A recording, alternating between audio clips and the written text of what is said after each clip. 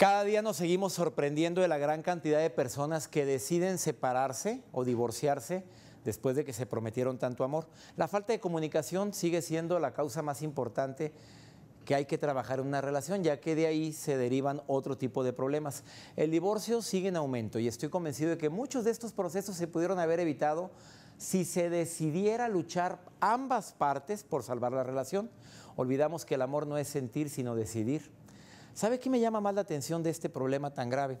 Que en muchos de los casos los involucrados olvidan quién decidió comprometerse en esa relación. ¿Quién fue? Fue uno mismo. Y a veces ese compromiso pasa a segundo plano.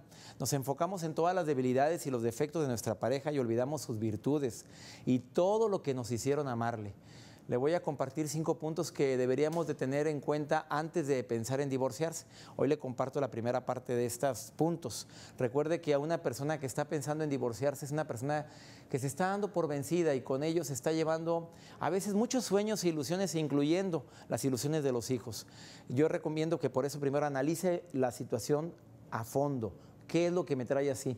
La segunda, encuentre las áreas de oportunidad en las que necesita trabajar en su relación anote los puntos claves en los que usted puede y debe trabajar en el ambiente familiar y sobre todo para que eso funcione de una manera más asertiva.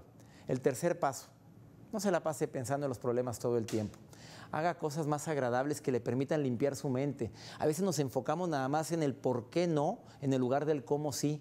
Nos la pasamos analizando y solamente identificando cuáles son los defectos de la persona en cuestión, en lugar de analizar también las cualidades. Próxima sección sigo hablando de este importante tema. Ánimo, hasta la próxima.